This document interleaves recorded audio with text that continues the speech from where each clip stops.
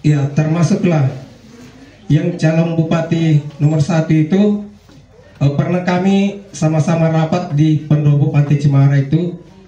Pernah dia mengatakan eh, dukungan eh, desa Mangkupadi kami tidak mengharapkan sudah. Dia sudah begitu pak.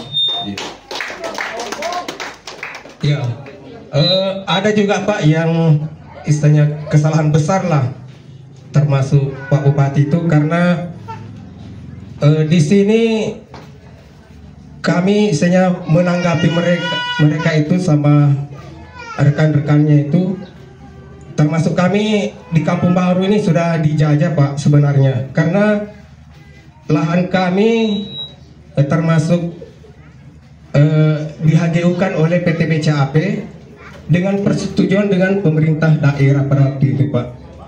Sekarang eh, sudah di take over HGU BCAP ke HGB dengan dukungan ini pemerintah daerah karena yang kami bilang dia didukung sama pemerintah daerah karena bukti-bukti pajaknya ada sudah Pak kami pegang.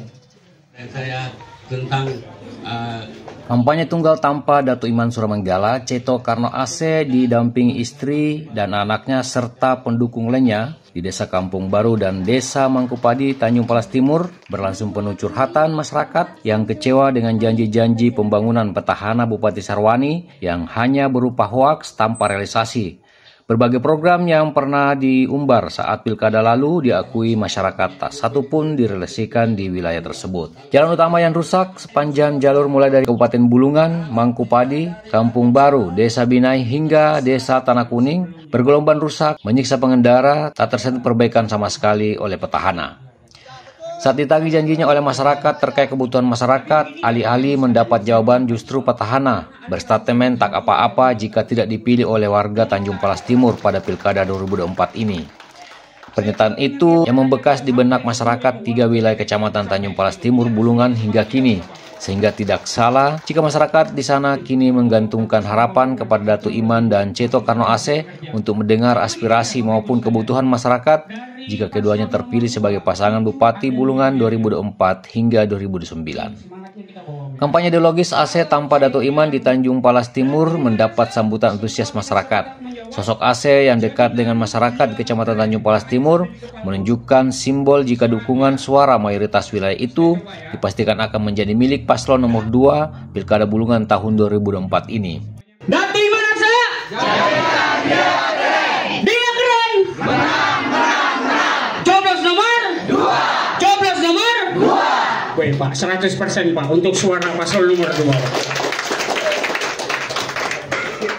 Mirska JOP diturunkan di Kecamatan Tanjung Palas Timur ini. Artinya apa Bapak Ibu Saudara?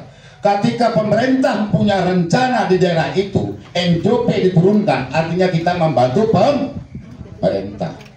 Ada investor, ada investasi yang besar mau datang, sehingga kita turunkan yang dirugikan. Tidak boleh diturunkan oleh pemerintah daerah, tidak melalui persetujuan DPRD Kabupaten Bulungan itu seharusnya harus diminta persetujuan.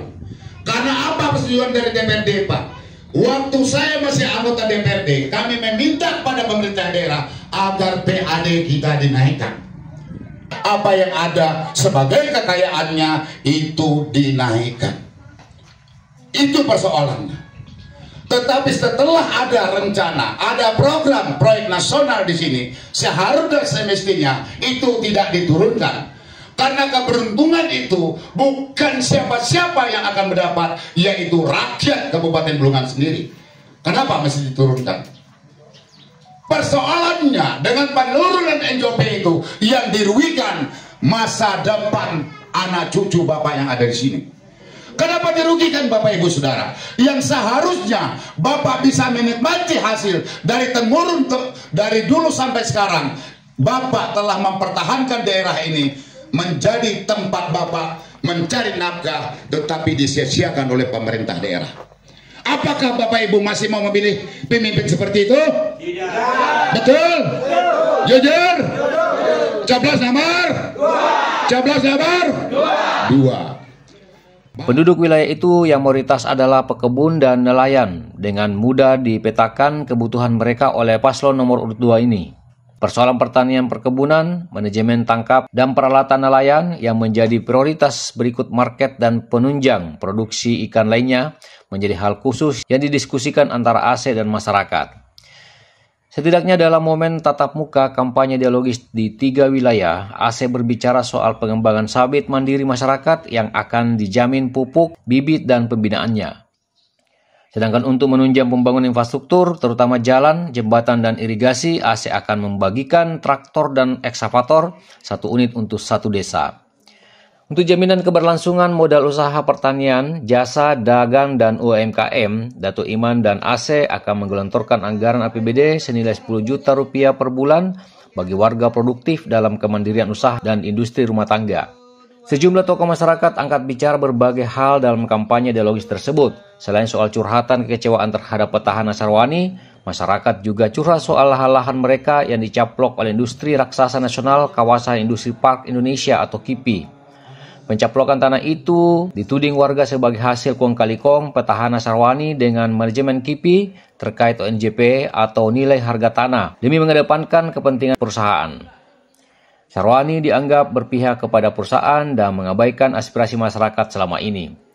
Keberadaan perusahaan ini selain menyakiti hati masyarakat dengan ganti rugi dan hak-hak tanah mereka yang tak sesuai dengan kompensasi ganti rugi, juga mulai muncul kegelisahan akibat pribumi tak mendapat tempat layak sebagai pelaku tenaga kerja industri tersebut.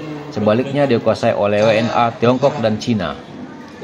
Masyarakat minta agar kelak paslon nomor urut 2 membicarakan perihal tersebut ke pemerintah pusat atau penguasa negeri ini agar di pembangunan industri raksasa itu mampu membuat masyarakat bahagia dan tenang. Sebaliknya menjadi teror kehidupan masyarakat yang selama ini hidup tenang dan damai setelah Kibi hadir kehidupan masyarakat berubah menjadi was-was dan penuh kekhawatiran. Uh, nomor urut 2 Bapak Datuk dan Bapak Asep mungkin tidak perlu saya sebutkan Bapak Cito Karno kan? Uh, pada kesempatan hari ini Bapak Asep sendiri beliau juga sudah hadir sebagai wakil. Dan kita kenal sebagai masyarakat di seluruh Padi kita sudah cukup mengenal beliau. Beliau sebagai pengusaha yang pernah dapat pengusaha dan mawar karena apa? karena dan sebagainya baik itu untuk umum maupun untuk pribadi beliau sangat antusias dan sangat berpartisipasi kepada kita. Apa yang saya katakan itu tentunya bisa saya laksanakan baru saya buat jadi program. Bukan menghayal bukan mengada-ngada bukan hanya sekedar mau mengambil hati bapak ibu sekalian. Saya sudah kenal masyarakat Tanah Kuning, Mangkupadi, Kampung Baru, Sajau, Tanjung Agung, Apung, Kilo 9, bukan baru sehari satu dua hari saya kenal. Kalau seandainya saya jadi pembohong, maka tidak mungkin setiap desa-desa berbondong-bondong membuat surat rekomendasi supaya proyek Pak Hasil kerja.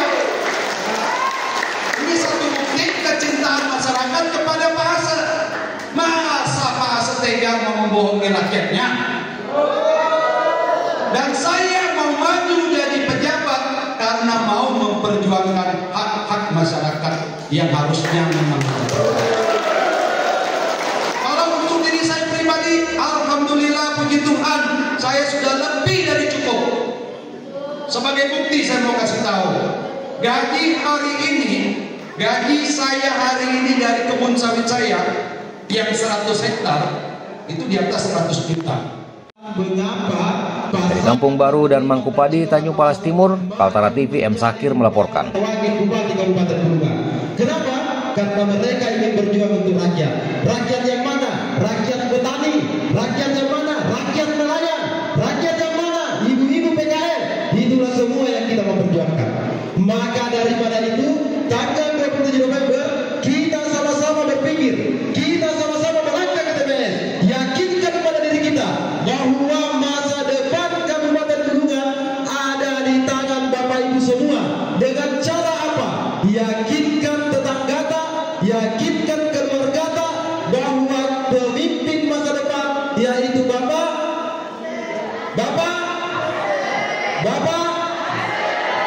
Program semangat Bapak Bupatinya siapa?